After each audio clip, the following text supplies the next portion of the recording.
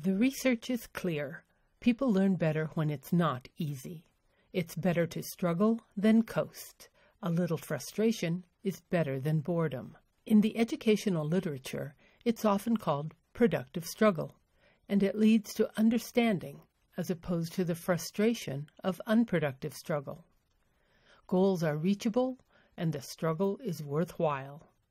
Instead of feelings of abandonment, students feel empowered and have a sense of hope. The amazing thing about ST Math is that it is designed to support productive struggle. The visual feedback from the animation gives students the information they need to develop their own understanding. The process is designed to require students to think and problem solve. Productive struggle, we often call it good stuck, means they're working at learning. The concept isn't easy, but it is attainable with a little work. Sometimes, however, you might encounter some unproductive struggle. We call it bad stuck. The problem is that a student who is bad stuck looks remarkably similar to one who is good stuck. In the absence of little workometers over their heads, how do you tell? First, check to see that there isn't some part of the game the student is missing. In the first level of this place value game, students can count the petals.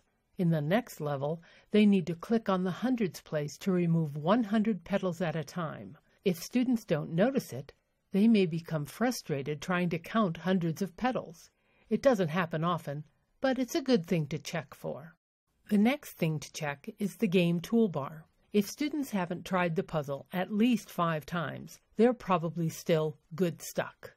A little encouragement that lets them know you think they can figure it out is often all it takes. Of course, you know your students best. You might have a student who has a very low tolerance for frustration. In that case, your job should be helping them become a perseverant and confident problem solver.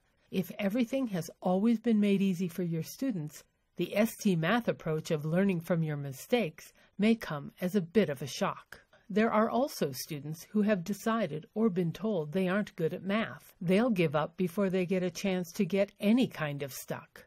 Once again, setting an expectation that they can figure it out for themselves will do wonders in building their confidence. ST Math games will do the rest. When you decide that a student has gone from good stuck to bad stuck, it's time to step in and help.